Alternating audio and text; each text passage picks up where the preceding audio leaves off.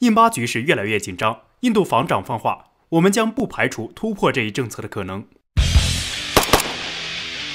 自印度突然取消印控克什米尔特殊地位后，性质完全就不同了。在宣布这一消息后，印度立即对该地区进行了严密的安全封锁和通讯封锁，意图将其彻底整合同化为印度的一部分。印度此举引起了巴基斯坦的强烈抗议，随即就降级了与印度外交关系，并终止了双边贸易。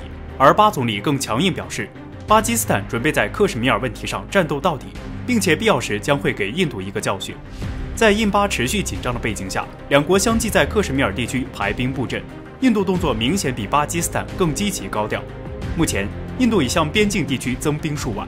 就在前几天的印度独立日时，印度还宣布设立一个国防参谋长职位，来保障印度陆军、海军、空军更好的协调。一般设置这样的职位是为了保障战时决策的高效率。以上种种迹象表明，印度似乎为开战做好了一切准备。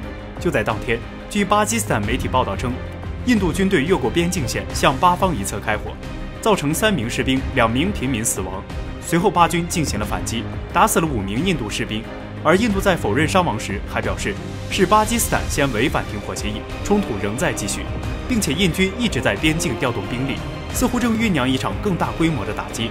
这不免引起外界对印巴发动第四次大战的担心，因为这两个国家都拥有核武器。